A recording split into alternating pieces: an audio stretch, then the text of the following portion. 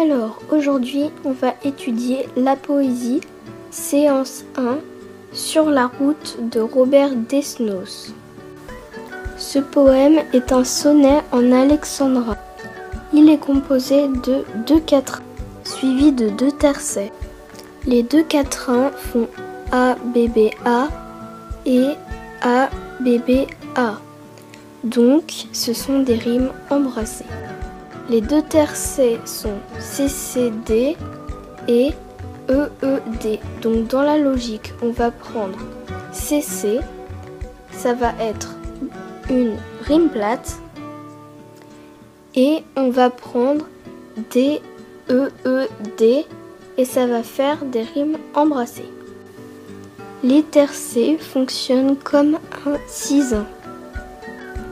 Il y a une alternance entre les rimes féminines et masculines.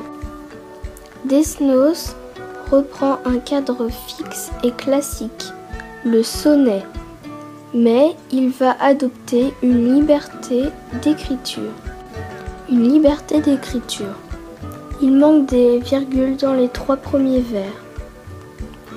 A l'inverse, le premier tercet contraste puisqu'il est composé de deux phrases courtes avec des points.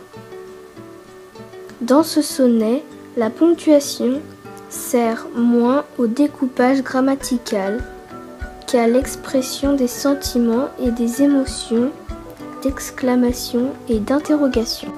Enjambement. Deux points.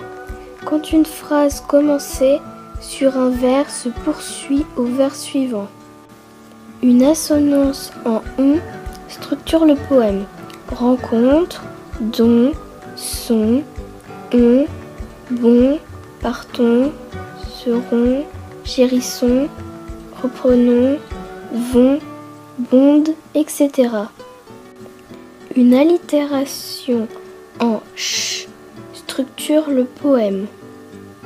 Chérissons, chemin, chant, chant.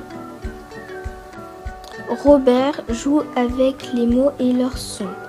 Vers deux, demain, donc le jour euh, après-demain.